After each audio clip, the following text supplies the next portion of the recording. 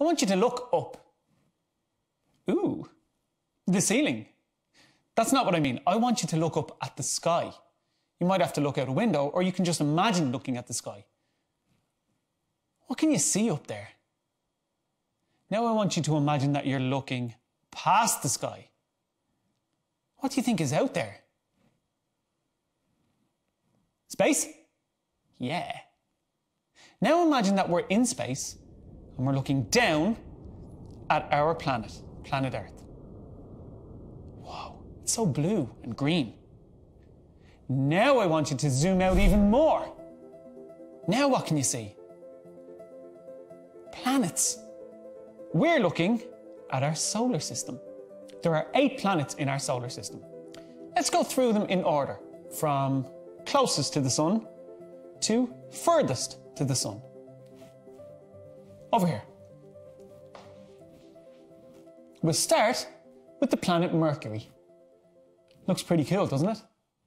Now, all these planets are the same size on this sheet of paper. That's so you can get a good, proper look at them. But they vary greatly in sizes. The planet Mercury is the closest planet to the Sun. It's also the smallest planet in our solar system. You'd think that most planets can't actually be seen with the naked eye and that you might need a telescope to see them. But that's actually not true. You can see most of them. And it's possible to see Mercury in the sky at night.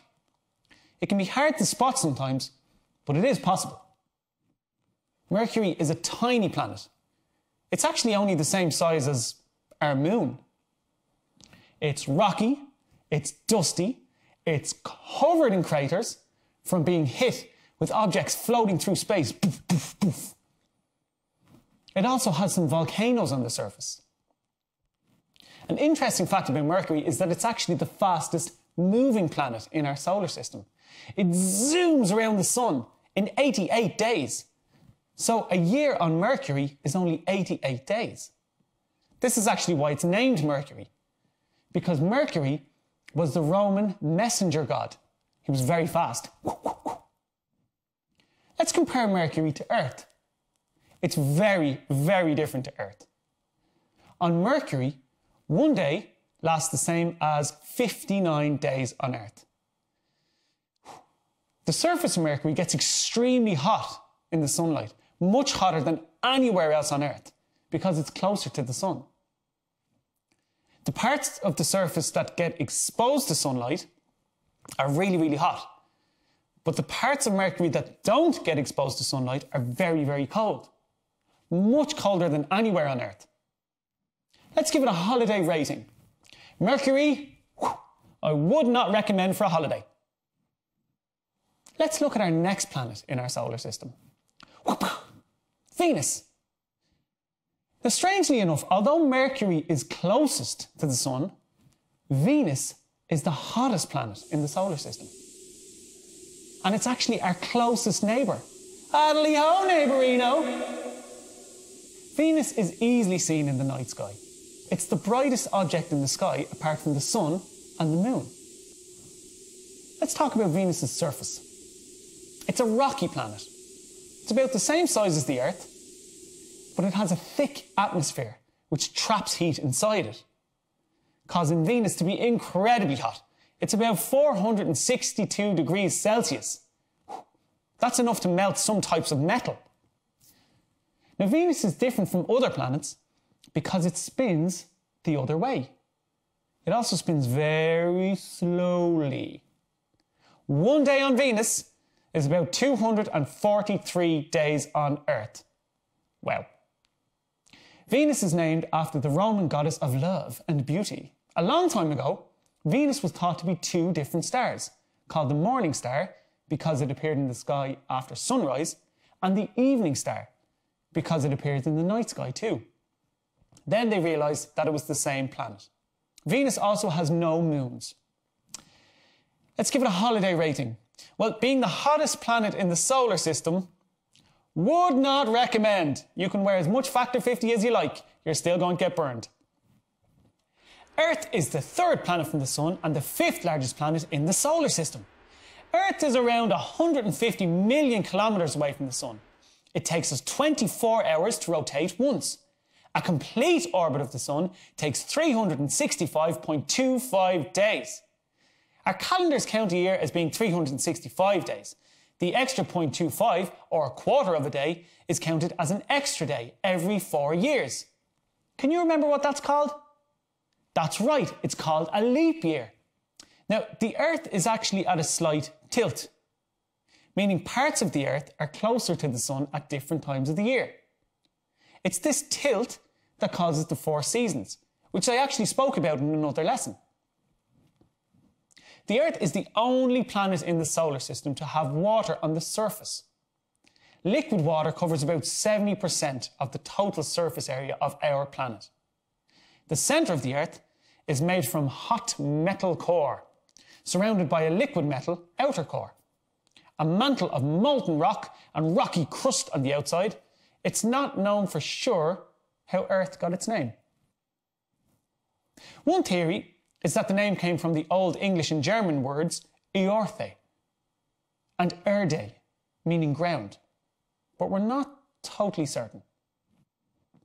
The Earth is the only planet in our solar system that is not named after a Greek or a Roman god or goddess. Let's give it a holiday rating. Would highly recommend Earth to go on holidays. Let's move on. The next planet is also a neighbour of ours, the planet Mars. Again, Mars is sometimes called the red planet. This is because most of the surface of Mars is covered with a thick layer of iron oxide dust. Has a kind of a reddish colour. This is the same metal as a rusty car. Have you ever seen a bit of rust on an old car? And it's reddish kind of in appearance? Mars has a lot of similarities to Earth. A day on Mars is about 24 hours long and 39 minutes, which is almost the same as on Earth. Mars also has seasons. It has clouds, has weather, just like we do on our planet. Now, like Earth, Mars has ice caps on the north and south poles, and the surface of the planet is covered in mountains, volcanoes, and canyons. The weather on Mars is actually very similar to Earth, too. Mars is further away from the Sun than we are, though, so parts of the planet can get very, very cold. In summer, the warmest part of Mars, the temperatures can reach about 20 degrees Celsius, which is, give or take, it's about as warm as we get in Ireland in July. These similarities have made some scientists wonder if there might be, or ever has been, life on Mars. So far, we don't have any proof that there's ever been life anywhere in the whole universe, except for planet Earth. Now, given the conditions on Mars, it might be possible for microscopic living things called microbes to survive there. Let's give it a holiday rating. Um, five out of ten. It was kind of warm. It can get very cold, um, but there was very little atmosphere. Let's move on. Jupiter. Jupiter is actually my favourite planet in the solar system. It's the largest planet we have in our solar system.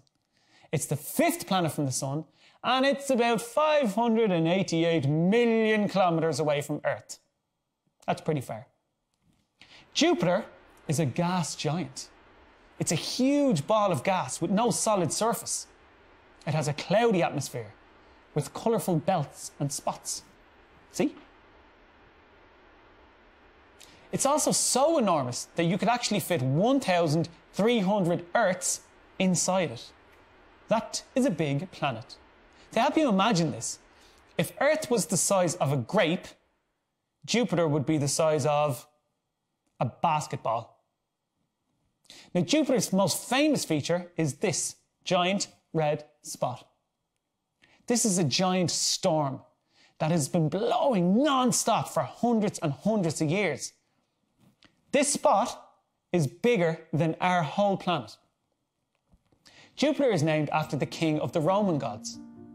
The Romans named the star of Jupiter after seeing it in the night sky, believing it to be sacred to their god, Jupiter. Jupiter is very, very different from Earth. One day on Jupiter is less than 10 hours long. It's actually the fastest spinning planet in the whole solar system.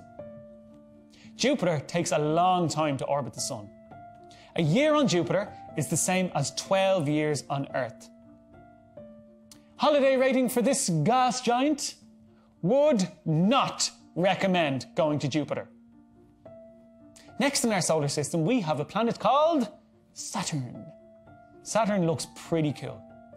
It's the second largest planet in our solar system. It's the sixth planet from the Sun, and it's 1.2 billion kilometers away from Earth. That's a lot of running. Saturn is also a gas giant. It's an enormous ball of gas with no solid surface. It's famous for its seven beautiful rings. You can kind of see them here. Now, these rings are actually made up of chunks of rock and ice. It's not the only planet in the solar system with these rings, but none are as spectacular as the ones that go around Saturn. Saturn is named after the Roman god of agriculture and time. In Roman times, it was known as the Star of Saturn, and it was believed to be sacred to the god Saturn. Saturn is very different from Earth. One day in Saturn is less than 11 hours long. Saturn takes a very, very long time to orbit the Sun. A year on Saturn is the same as 29 years on Earth. Saturn actually has 82 moons, way more than any other planet in our solar system. Holiday rating? It would be a bit of a bumpy landing getting through the ice and all that debris that makes up the rings. And also, we couldn't set foot on the surface because it's made of gas. Therefore, would not recommend. Next one, Uranus. Uranus is the third largest planet in the whole solar system. It's the seventh planet away from the Sun and it's just about 2.6 billion kilometers away from Earth. Uranus is an ice giant. Temperatures can reach minus 224 degrees Celsius. This makes it the coldest planet in the entire solar system. Uranus gets its bluey green colour from a gas called methane, which is in the atmosphere there. Uranus actually also has 13 rings, the only planet in the solar system other than Saturn that does. The inner rings are narrow and dark, and the outer rings are brightly coloured, and they're easier to see. But they're not as visible as on Saturn. Uranus is the only planet in our whole solar system to be named after an ancient Greek god. With the exception of Earth, the other planets are all named after Roman gods and goddesses. One day on Uranus is about 17 hours long. Uranus takes a long time to orbit the Sun, one year equals 84 Earth years. Holiday rating? Coldest holiday ever. Would not recommend. And last but not least of our eight planets, we have Neptune. The planet Neptune is the fourth largest planet in the whole solar system. It is the eighth and most distant planet from the Sun. It's just about 4.3 billion kilometers away from the Earth. Neptune is an ice giant. Temperatures on Neptune can reach minus 218 degrees Celsius, making it one of the coldest planets in our solar system. Neptune is so distant that it takes the light from our sun four hours to reach the planet. That's how far away it is from the sun. It gets its deep colour from a gas called methane, which is also in the atmosphere. It has no solid surface, and instead, it's made up of a thick, soup of liquids and gases. Ew. Neptune is the only planet in the whole solar system that can't be seen in the night sky without a telescope. Whew! Now, I know that was a lot of information coming at you. But before I say Slán, I just wanted to give out some honourable mentions. Firstly, Pluto. Pluto used to be classed as the ninth planet in our solar system, but it's actually too small to be classed as a planet. It's even further away than Neptune. Now, there's a reason I'm mentioning it to you, but I'll tell you about that in a minute. Second honourable mention the moon an Ghealach. Now, the moon is made of rock, not cheese.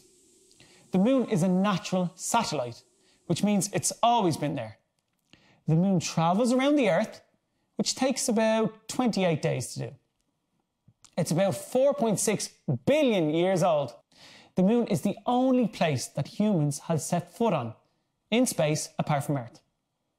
The Earth only has one moon, and it's largely known as the moon, but it's sometimes known as Luna. Now, I hope you enjoyed learning about all the planets in our solar system. And here's a really nice way of remembering each one Mercury, Venus, Earth, Mars, Jupiter, Saturn, Uranus, Neptune, Pluto, even though I know it's not really a planet. You can remember it like this My very educated mother just showed us nine planets. My Mercury, very Venus, educated Earth, mother Mars, just Jupiter, showed Saturn, us Uranus, nine Neptune, and P Pluto or planets. I've got a great idea. Why don't you use all the information that I've given you today to draw a fact file for each planet? Or, if you're feeling very adventurous, I know that Múinteoir Cliana was doing a paper mache lesson. You could try and make some paper mache planets and build your own solar system.